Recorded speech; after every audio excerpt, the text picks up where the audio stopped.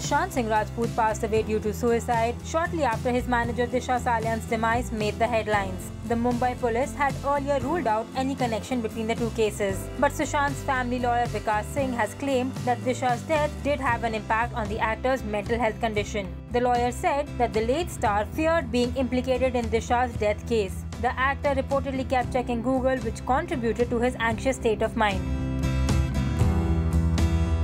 deeming it as a clear case of abetment of suicide. Singh said that Rhea had left at first and Disha Salian passed away on the same night. The next day, all the media reports said Sushant Singh Rajput's secretary died by suicide, whereas she had not even joined yet. The lawyer further stated that this situation contributed to an increase in Sushant's anxiety and he feared being implicated in Disha's death case and constantly kept checking the internet because of it.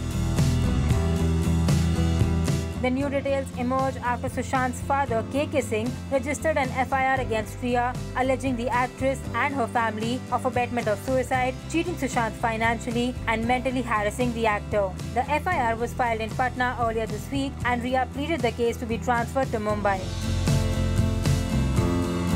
More updates on the case are still awaited.